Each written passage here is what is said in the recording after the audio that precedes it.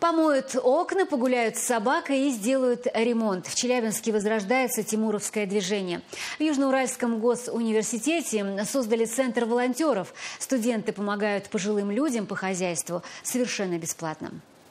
Моют полы, пылесосят ковры, поливают цветы. Убирать в квартире пенсионерки Нине Плехановой помогают не собственные внучки, а современные тимуровцы. Эти девушки из волонтерского центра «Юргу».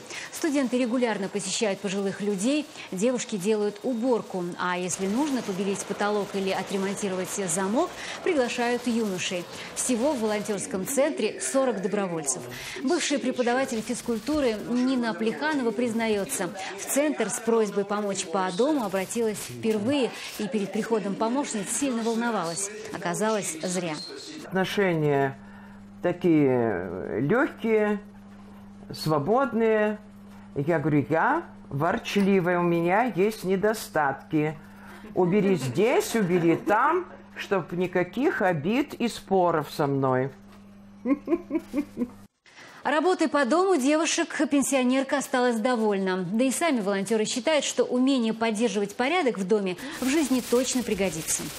Как мне сказали сегодня подруги, это хороший опыт хозяйки, потому что бабушки очень хорошо владеют таким домашним искусством, обучают нас. Многие впервые учатся каким-то секретам. Не знаю, вот Нина Васильевна нас учит секретам по уходу за цветами.